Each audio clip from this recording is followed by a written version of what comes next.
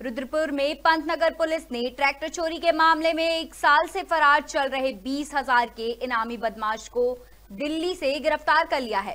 वही इस मामले की जानकारी देते हुए एसएसपी मंजुनाथ टीसी ने बताया कि बीते एक फरवरी 2023 को हरीश सिंह मेहता निवासी छतरपुर ने थाना पंतनगर को शिकायत दर्ज की थी कि उसका ट्रैक्टर 29 जनवरी की रात में चोरी हो गया। वही इस मामले में थाना पुलिस ने मुकदमा दर्ज करते हुए जाँच की। तो आरोपी मनदीप सिंह, महेश सिंह समेत चार शातिर बदमाशों द्वारा ट्रैक्टर चोरी की घटना को अंजाम दिया गया, जिसके बाद पुलिस ने घटना को अंजाम देने वाले तीन आरोपियों को चोरी के ट्रैक्टर के साथ गिरफ़्तार कर जेल भेज दिया है। चौथा आरोपी अभी भी गिरफ़्तार है। रुद्रपुर से मुकेश मंडल की रिपोर्ट।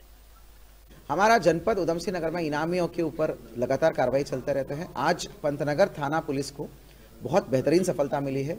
आप सभी को अवगत होगा, पिछले साल छतरपुर में सोनालिका का बहुत बड़ा ट्रैक्टर चोरी करके ले गए थे। सात आठ लाख रुपए का ट्रैक्टर, उसमें मेन मतलब ट्रैक्टर तो रिकवरी हो गया था और चोर भी चोर भी गिरफ़्तार करके जेल गए थे, परंतु उस गैंग का सरगना जो है, वो लगातार वांटेड चल रहा था। उसके ऊपर बीस हज़ार का इनामी, इनाम राशि भी एक साल से घोषित हुआ था।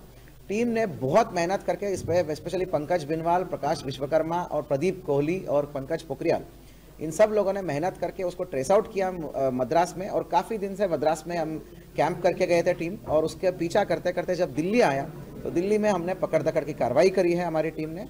बेहतरीन कार्रवाई है, इसी प्रकार जो है आगे भी इनामियों के विरुद्ध कार्रवाई चलती रहेगी।